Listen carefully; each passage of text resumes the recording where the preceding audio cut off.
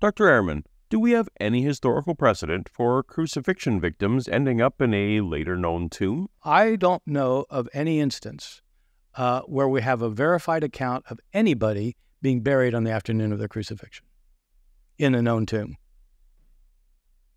So, how likely is it that they made an exception in the case of Jesus? There we have it, folks. No historical cases. Who would be so out of touch as to insist that zero evidence for something is really good evidence for it? Jesus was not the exception to the rule. Taking the bodies down and burying them on the day of crucifixion was the rule that was followed in Judea. Oh boy. Better buckle up, everyone.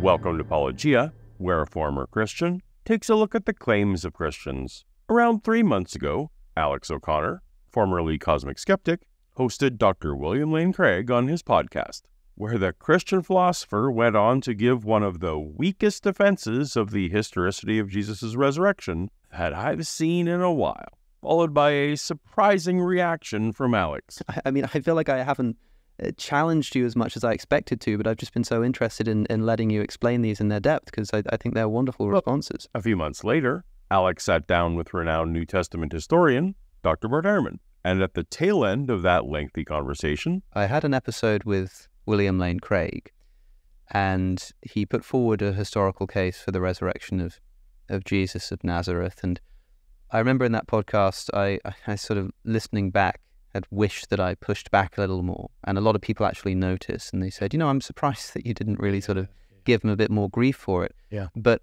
I figured that uh, perhaps rather than making a botched attempt at doing it myself, it would be better to to ask you. Cameron Bertuzzi of Capturing Christianity was similarly unimpressed. As I was listening to Dr. Ehrman's responses, I just remember thinking, man, this is this is just not very good. Like these responses just didn't really strike me. Like, and this wasn't like apologetics, Cameron, like trying to just like come up with some reason why Christianity is true. This was just really honestly like listening to what he was saying and just being like, man, that's that's not it. That's not it, Chief. He even dragged me into this. I've got the clip pulled up. Let's play the clip from this interview with Paulogia. In my probably biased view, far too much of this latest interview was spent entirely on personal comments about Alex or Bart as individuals, which has nothing to do with the points being raised, and swaths of it being spent battling uncharitable strawman versions of positions. Now, I couldn't blame you if you're thinking this video will be another classic Paulogia responseception, and maybe even bringing in Dr. Ehrman to defend himself. But I've done that before, and let's be real, I'm sure I'll do it again in the future. And it's very tempting, because this rubbed me the wrong way. But if I'm being honest, I don't think any of the four men involved, Alex, Bart, Bill, or Cameron, gave us their best in these. A group bad day at the office, as it were, and ultimately, I do want this channel to be focused on the actual scholarship, the actual arguments, the claims of Christians being carefully examined in the light of day. So, to that end, what I'm going to do is pull out one topic Dr. Craig spent the most time on the empty tomb and burial of Jesus, and respond only to his very specific positive case. Of course, that's where we got off on the wrong foot, because Dr. Craig inexplicably shirked any notion that Jesus' burial requires a burden of proof. Ehrman is in the very difficult position of having to disprove the burial account. The person who believes in the empty tomb doesn't need to prove the burial story. He can have other reasons in support of the empty tomb account. But the burial account is the sine qua non of the uh, empty tomb story. If you're going to deny the empty tomb, then you've got to disprove the burial account. That is decidedly not the case. Anyone can justifiably deny the empty tomb merely by saying, I'm not convinced by the evidence for an empty tomb. An empty tomb is literally a positive claim. Normally, Dr. Craig understands burden of proof better than this. In making a claim to knowledge and making a claim to know something, whether it be that there is a God or there is no God, a person needs to have justification uh, and that will involve giving evidence and argument. When he uses a word like disprove, I fear that Dr. Craig is invoking a notion of certainty that is inappropriate for historical inquiry. Maybe 20 years younger Dr. Craig could help explain this. When historians provide hypotheses for reconstructing the past, I think they're using a form of inductive inference, which is called by philosophers inference to the best explanation. And what this means is that you're confronted with a body of data to be explained. You then uh, establish a pool of live options for explaining that data. And then, on the basis of certain criteria, you assess those rival explanations to determine which explanation, if best, would explain the data in the most plausible way.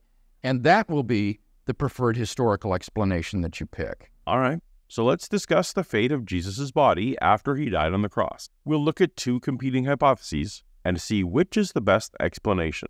Fortunately, both parties are putting forth entirely natural scenarios, so no supernatural element is required for either, so we can avoid any Humean entanglements. And let's be clear about this up front. This is not the epistemic standard we're talking about. Almost unanimous opinion of New Testament scholarship that the burial account is credible. I'm fine with someone who thinks that the gospel burial story is credible. Both hypotheses have some level of credibility. But the question today is which is the best explanation? Here's Dr. Craig's idea. After his crucifixion, Jesus was interred in a tomb uh, late on Friday afternoon by a member of the Jewish Sanhedrin named Joseph of Arimathea. And I put forth that Jesus' body was disposed of in a manner such that the location was not later known or could be ascertained by his followers or his enemies. After all, that is true of most crucifixion victims in history.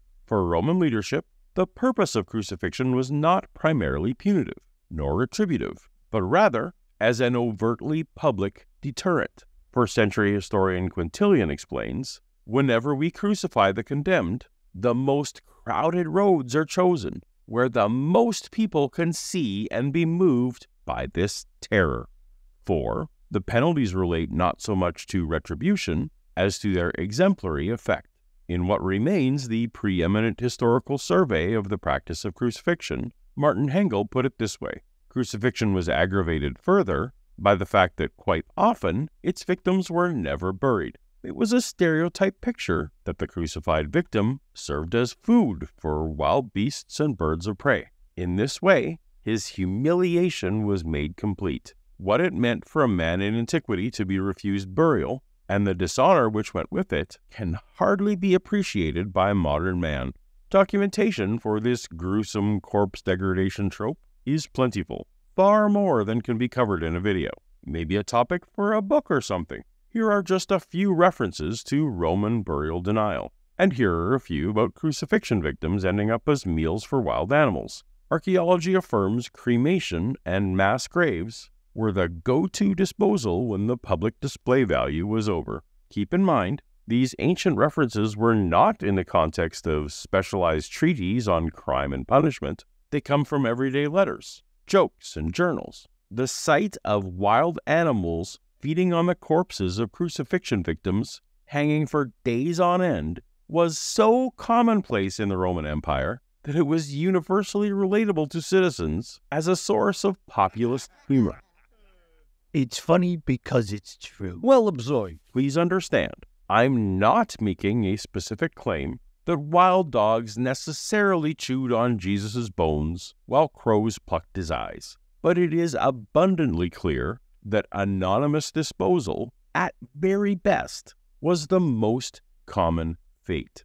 In fact, I've not yet found a Christian historian who disagrees with me on this. Here are renowned resurrection defenders Gary Habermas and Mike Licona. That was the typical practice of the Romans to do that. That's what happened to most people. Not even Dr. Craig denies this historical fact. So, how does he want to make the most likely thing plausibly become the least likely thing? You cannot let Roman practice outside of Judea indicate or dictate uh, what they did in Judea. Okay. So, in the first century, Judea was a province in the Roman Empire, the province where Jesus died. What Craig is arguing is that general Roman practice doesn't tell us what happened in Judea any more than general Great Britain practice tells us what happens in Wales, or general Canadian practice tells us what happens in Alberta, or general American practice tells us what happens in Texas. And this is valid to some extent. Regional variation is plausible, but absent positive evidence to the contrary, the most reasonable expectation is that what applies to the political whole also applies to the political parts. So, does Dr. Craig have any evidence that first century Judea treated crucifixion victims differently than elsewhere in the empire? Well, what he does not have is any historically documented case of a first century crucifixion victim in Judea being given a tomb burial that could later be identified. That's not quite true. He has Jesus. Jesus is the only first century Judea crucifixion victim who has written claims about the fate of their body. But that's the story we're attempting to corroborate. So, not helpful here. Since Dr. Craig has no direct document evidence for his notion of Judea exceptions for body disposal, what support does he put forth? And the Jewish authorities would want the body taken down from the cross before nightfall, especially because of impending Passover, one of the holiest days, because the body left on the cross would defile uh, the land. Oh, I see.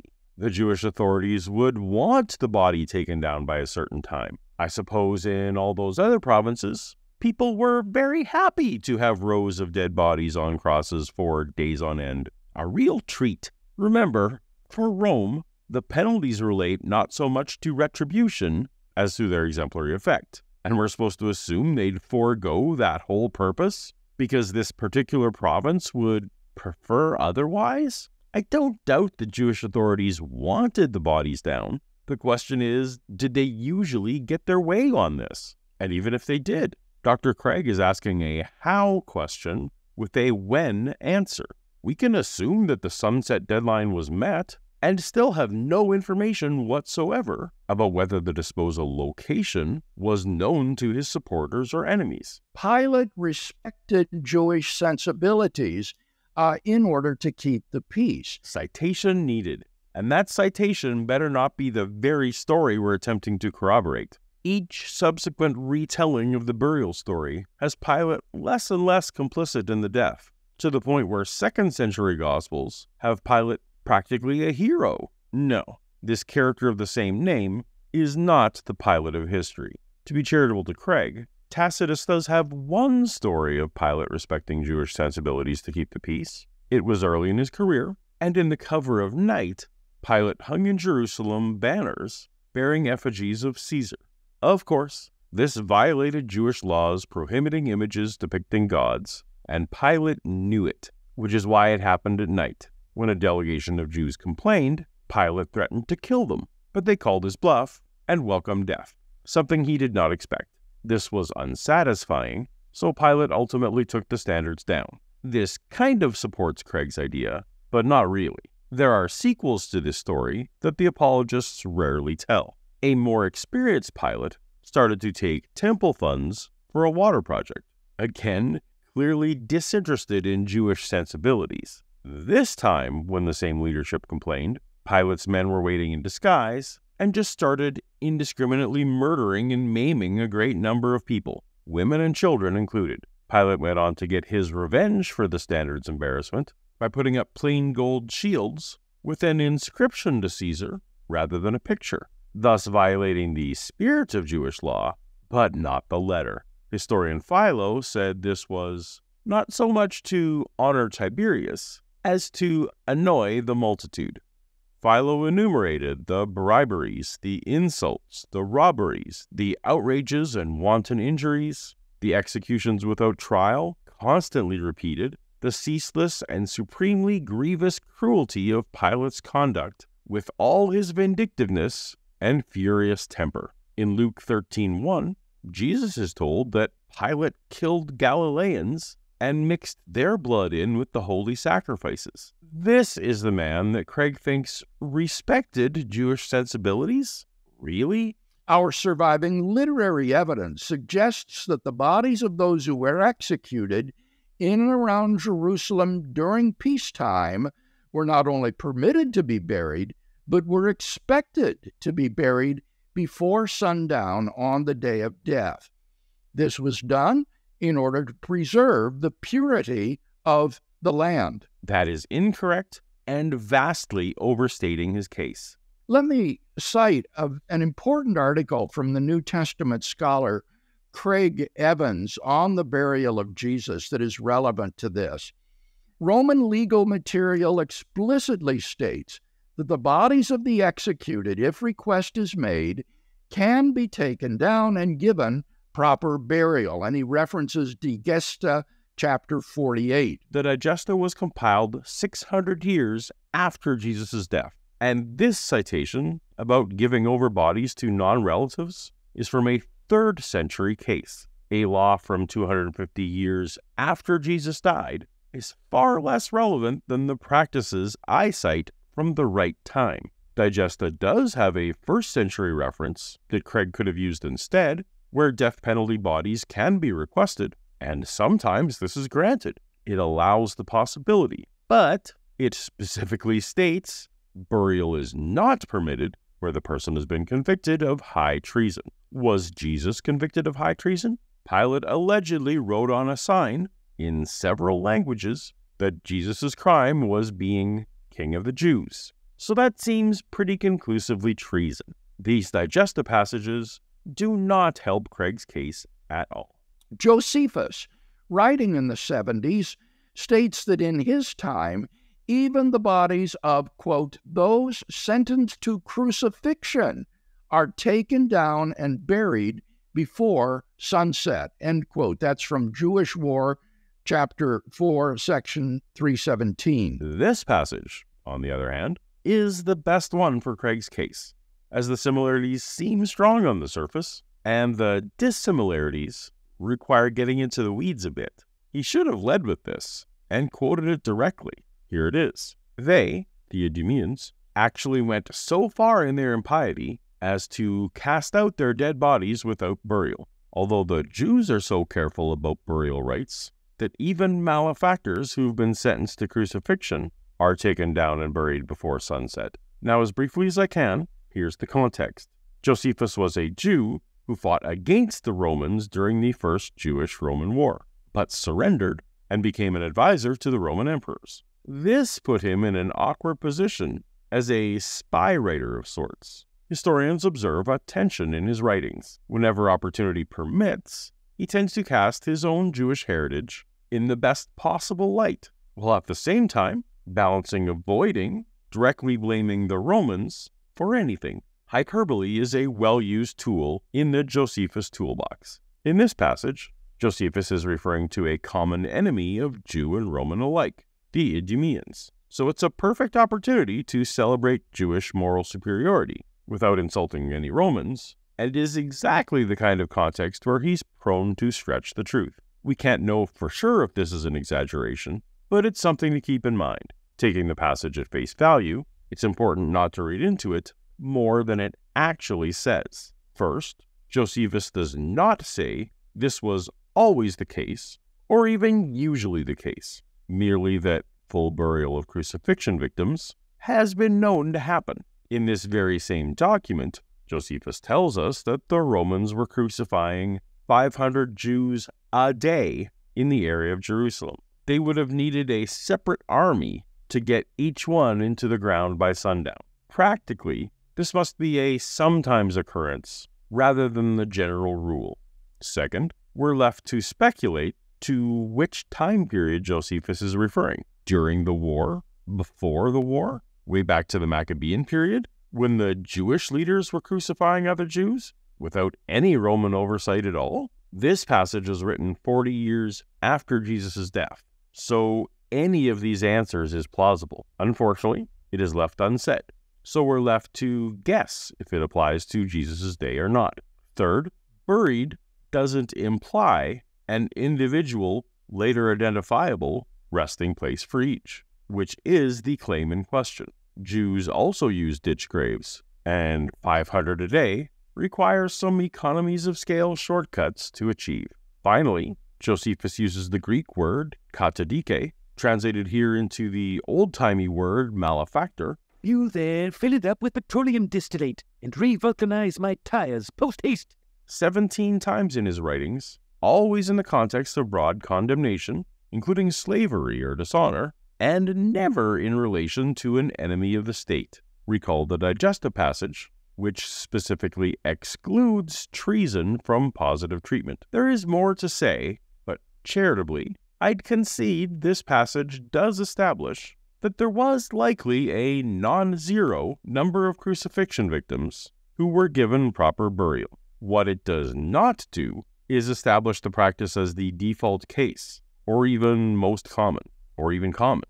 Josephus remarks that during peacetime, the Romans did not require the Jewish people to violate their laws and customs. That's from Against Apion uh, 2.73. Okay, so here's Against Apion 2.73. Moreover, Apion would lay a blot upon us, because we do not erect images to our emperors, as if those emperors did not know this before, or stood in need of Apion as their defender, whereas he ought rather to have admired the magnanimity and modesty of the Romans, whereby they do not compel those that are subject to them to transgress the laws of their countries, but are willing to receive the honors due to them after such a manner as to those who are to pay them esteem, consistent with piety and with their own laws. For they do not thank people for conferring honors upon them when they are compelled by violence to do so. This passage is clearly talking specifically about the ongoing graven image conflict that we'd already talked about with Pilate. First, the banners with images, then the golden shields without images, but words, which ended in bloodshed, and the Jewish laws in this context. For Craig to pluck out the phrase, they do not compel those that are subject to them to transgress the laws of their countries, when it's referring to emperor worship, and assume it applies to all laws, is a stretch beyond what the passage conveys. Does Dr. Craig imagine that Jewish prohibition against work on the Sabbath meant that all the Roman soldiers in Jerusalem got Saturday off? Certainly not. This limited accommodation cannot extrapolate across the board. Uh, and I would mention as well that we actually have archaeological evidence that uh, victims of crucifixion in Judea were properly interred in a tomb. Uh, there was an archaeological discovery of a man named Jehohanan, which uh, still had the crucifixion nail in the ankles with a piece of wood from the uh, cross affixed to it because apparently the nail had hit a knot in the wood and bent so that it could not be extracted. And the fact that this was preserved shows that the body was put into uh, a tomb where the flesh would decay, and then it was placed into an ossuary or bone box. Small correction that no wood from a cross was involved in this discovery, so I'm not sure what Craig is referencing there. But Yehohanan is a real thing we've discussed here before. For the sake of brevity, I'll merely grant it appears to be a first or second century crucifixion victim in Jerusalem who was given full, proper, remember it later burial. I've already conceded that there is a non zero number of such people in history based on the other accounts. Does this lone find somehow shift it rarely happens to it usually happens? I don't see how. And he says these are not the only evidence for the proper burial of a victim of crucifixion. The remains of a man, both crucified and beheaded, were recovered from what is now called the Abba Cave, once again in the Jerusalem neighborhood of Givat HaMishtar. Nails were recovered from the ossuary. One nail was still embedded in the man's hand. Again, too long to get into here, but in the original paper describing the find, it says the nails did not penetrate the bone. It would not seem, therefore, that this can be considered evidence of crucifixion. A later advocate for crucifixion diagnosis, Joseph Zias, reappraised his position in 1985 and now calls the data inconclusive. In short, This example is too weak for most apologists to even bring up. All he can point to is general Roman practice outside of Judea, um, but doesn't draw the relevant comparisons in uh, first century Israel. I think what we've demonstrated here, until new documents are discovered, that what happened in Jerusalem is going to have to fall to inference and speculation. Craig wants to speculate that Judea didn't follow the rules, and I see insufficient justification for this.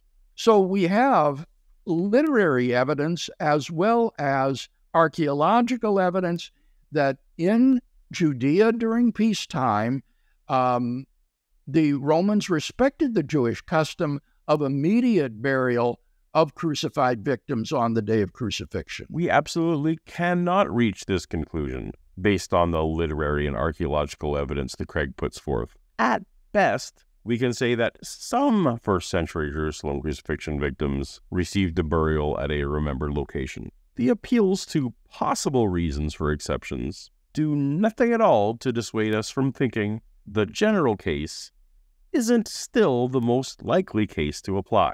And the dirty little secret here is that even if Craig had shown that the Romans allowed each and every crucifixion victim to be taken off the cross by sundown, that alone doesn't get us to Craig's necessary conclusion that Jesus' body was somewhere easily accessible and remembered. As I mentioned, Jews also used unmarked ditch graves. Dr. Craig needs a personal, later identifiable, later remembered grave, or better yet, a tomb for easy access for the Jesus resurrection narrative to make sense. But I had my chance for my side. Let's let Bill make his case. As we just saw from the literary and archaeological evidence, Jesus was not the exception to the rule. Taking the bodies down and burying them on the day of crucifixion was the rule that was followed in Judea. We do not know that.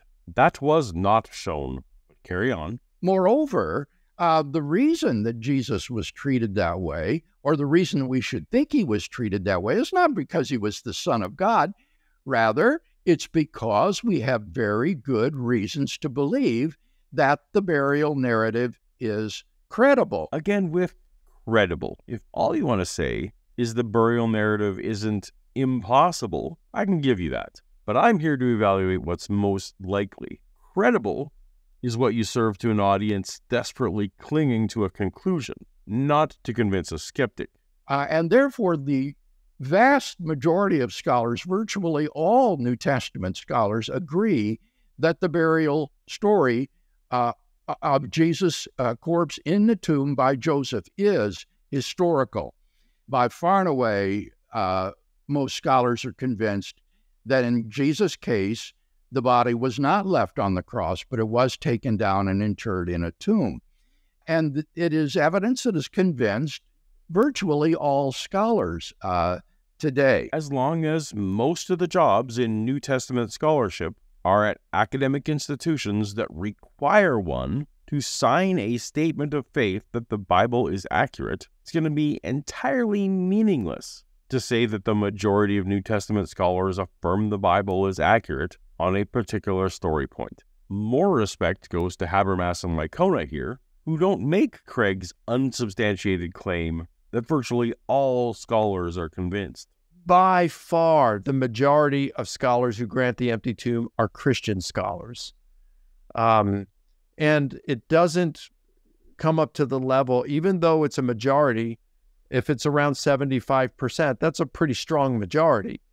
But I like it to be 90% or more for what I'm doing here, a nine, you know, for for my criteria for accepting something as historical bedrock. So it didn't quite make a strong enough majority, and it certainly not a robust hetero, heterogeneity of scholarship um, that is granting it. Not a robust heterogeneity of scholarship is code for Christians accept it, but skeptics do not. Rather than trying to settle this with an appeal to authority show of hands, perhaps Dr. Craig should just stick to his evidence. We have multiple independent attestation in at least five different sources, some of which are among the earliest in the New Testament, uh, such as the pre Pauline formula quoted in 1 Corinthians 15 and the pre-Markan Passion story. And this is one of the best tests of historicity is to have multiple independent and early uh, testimony to a, a particular event. All right, now we're getting somewhere.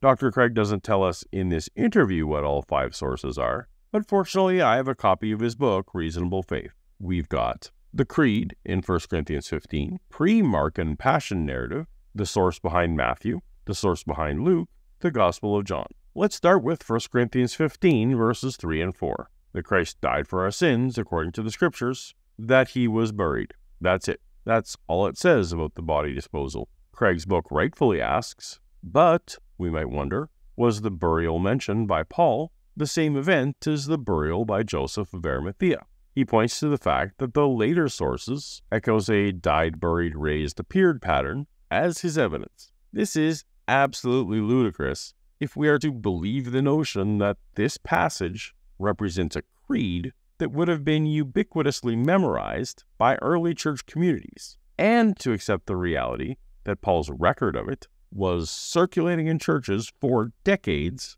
before the Gospels were written. Of course, the later accounts are going to follow the pattern of the first account. The sequel can't affirm the accounts of the original. And allow me to point to the elephant in the room. He was buried doesn't point to an individual remembered stone cut tomb. The Greek word here, etaphe, was used by other Jewish writers around Jesus' time to mean anything from a rich man's tomb to a plot burial to a ditch burial. Frankly, it doesn't even say he was down by nightfall. 1 Corinthians 15 is the earliest relevant source, and it sheds no light on the plight of Jesus' body. Now, as to the Gospels, the author of Mark wrote the earliest extant Jewish burial narrative. The authors of Matthew and Luke copied Mark's burial narrative. Dr. Craig knows this, and he affirms it in his book. So Matthew, Mark, and Luke's version of this story are not independent. Craig imagines that because Matthew and Luke embellish Mark a little, that the latter had sources other than Mark alone. I don't have time to get into it here, but go read for yourself the Joseph of Arimathea story, first in Mark, then Matthew, then Luke, then John. The story grows in exactly the way you'd expect if each subsequent author is responding to new polemics, scrambling to keep the narrative plausible under increased scrutiny. By Occam's razor, there's no reason to posit hypothetical sources when editorial changes fully explain what we see. Dr. Craig's book asserts that these differences are not plausibly explained as Matthew and Luke's editorial changes of Mark, a statement backed by such formidable challenges as uneven editorializing, leaving parts out, and two places where Matthew and Luke made the same change. Dr. Craig and I are going to have to agree to disagree on plausibility, because that's all easily explained by an editorial hand. And even granting this speculative notion, how could we know if Craig's hypothetical isn't also merely dependent on the pre Markan narrative? In the same paragraph, Craig acknowledges the explanatory power of the narratives emerging from a common oral tradition, basically jettisoning his own independence claim. As for the Gospel of John, here are a handful of scholars who, to one extent or another, acknowledge that John is dependent on Mark. To suggest that the author of John was unaware of the other Gospels is quite preposterous. So, of Craig's five allegedly independent sources for burial details, the first has no burial details, and the rest are inextricably dependent on each other. Not good. That's not it, Chief. Uh, Joseph of Arimathea is best explained as starting from a single source, be it written or common oral tradition, followed by periods of legendary development. In literary analysis, a catalytic character is one that catalyzes or propels parts of the plot before disappearing. Their purpose is to incite specific events or changes without lingering in the story. Joseph of Arimathea is a prototypical catalytic character. So I did also want to mention, in addition to that, we've got an article on capturing Christianity that was written by uh, what is now an anonymous author, uh, but it's outlining nine reasons why Joseph of Arimathea was a real historical figure. Uh, it outlines nine different reasons. We're not going to go through all of these reasons right now, but you can kind of see them if you want to. You can pause the video. I'm not going to respond to these reasons right now, but you can pause the video and have a look at them. Moreover, the burial of Jesus by a member of the Sanhedrin rather than by his beloved disciples or by his family is unexpected and therefore very unlikely to have uh, been a fictional or legendary creation in the early Christian community.